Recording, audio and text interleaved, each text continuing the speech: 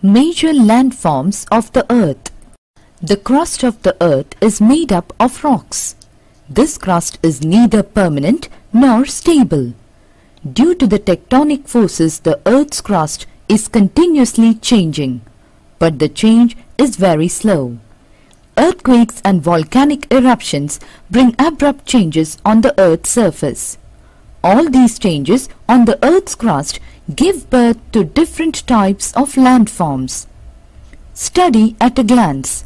Major landforms, mountains, plateaus, plains, oceans. Major landforms.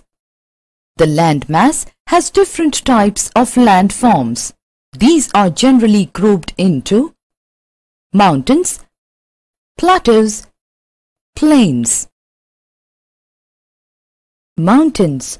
The mountains are the uplifted parts of the earth which have marked slopes and peaks. On the basis of their origin, the mountains are generally classified into four categories. The fold mountains, block mountains, volcanic mountains.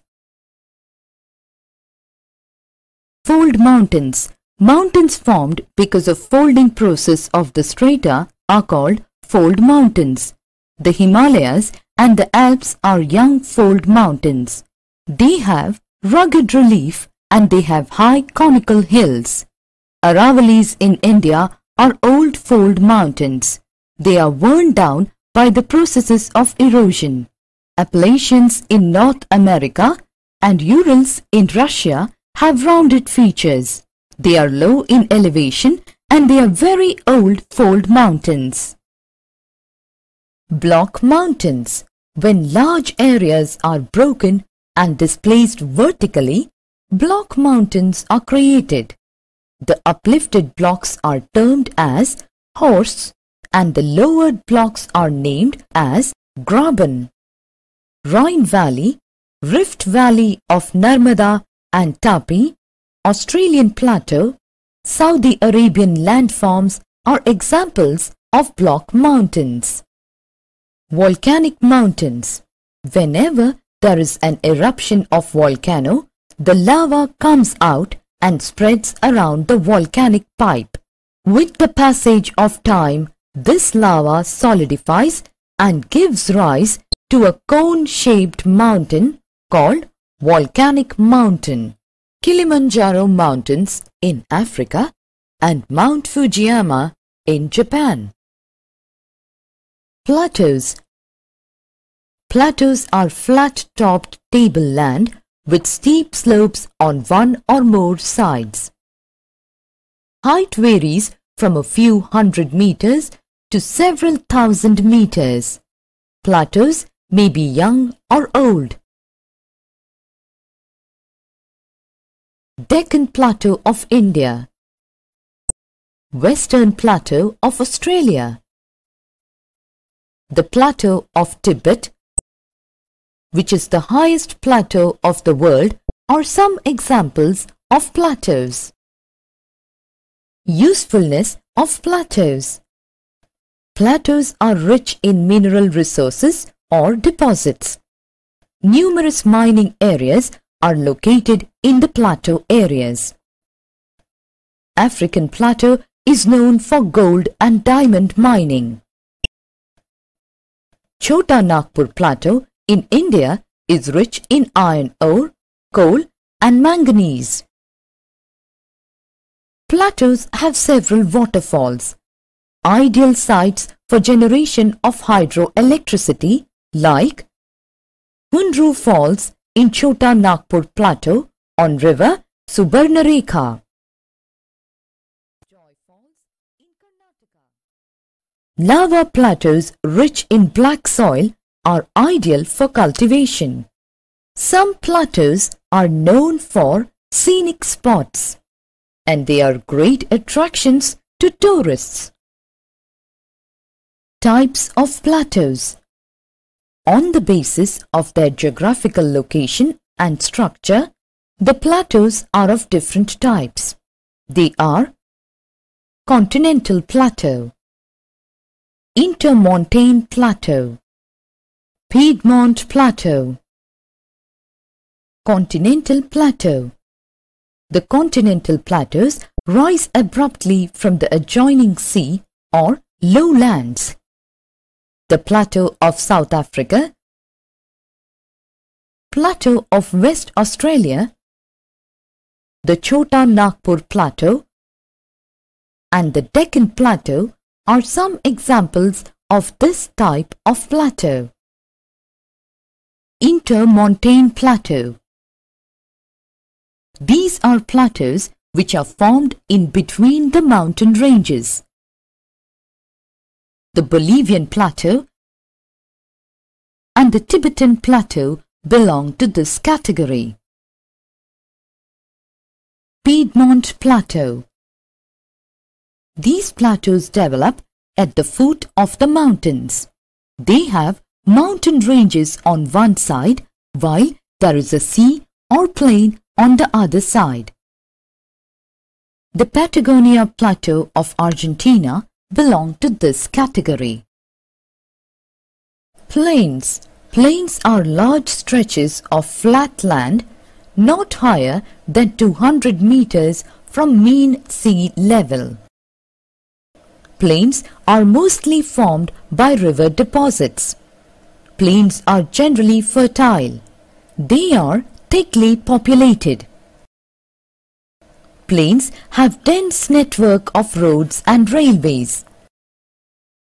Agriculture is the main occupation of these people.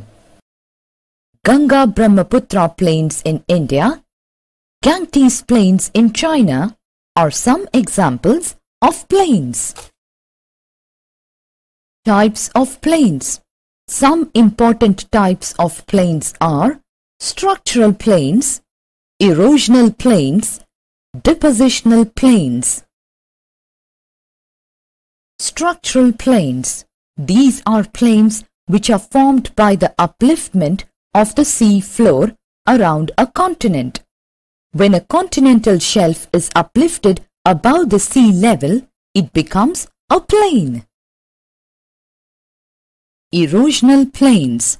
These are plains which are formed due to the constant erosion of the high areas, that is, the hills and plateaus, etc. Due to gradual wearing out of the higher areas, they come down to the level of plains. They are not very smooth plains but often undulated. They are also known as Pennine plains. West Siberian plain is an example of this type of a plain. Depositional plains.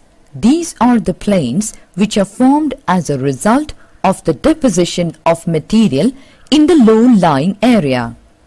There are different agents which perform depositional work such as running water, wind and glacier, etc. A plain which is formed by the depositional work of running water is known as an alluvial plain. The Indus plain, Ganga Brahmaputra plains are the examples of alluvial plains. A plain which is formed by the depositional work of wind is called Loess Plains. Northwestern China is an example of this plain. Formation of plains. Rivers and their tributaries bring silt and deposit it in low-lying areas and form plains. River plains are thickly populated because of the following reasons. Plains are fertile, agriculture is the main occupation of the people.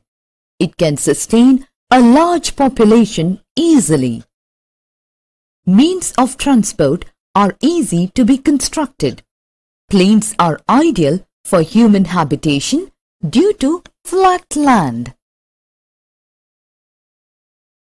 Oceans There are huge reservoirs of water on the earth's surface known as oceans. The ocean basins have the counterparts of almost all the major landforms such as mountains, ridges, plateaus, plains, etc. Some of the relief features of the ocean floor are continental shelf, continental slope, abyssal plain, ocean trench, submarine ridges, islands. Continental shelf. From the coast towards the open sea, there is a stretch of shallow sea. The depth of sea water goes on increasing away from the coast under the sea very gradually. This part of the ocean is called continental shelf. Continental slope. Beyond the continental shelf, there is an abrupt, steep slope under the sea till the floor of the ocean. This part of the ocean is called continental slope. Abyssal plain. Beyond the continental slope, there is an ocean bed which is not exactly plain but undulated. This undulating plain is called abyssal plain. Ocean trench. Ocean trenches are believed to be formed due to faulting on the ocean floor. These trenches are formed very deep on the ocean floor. They are often known as ocean deeps. The deepest trench is the Mariana Trench in the Pacific Ocean. Submarine ridges. These are like the mountain ranges rising above the ocean floors.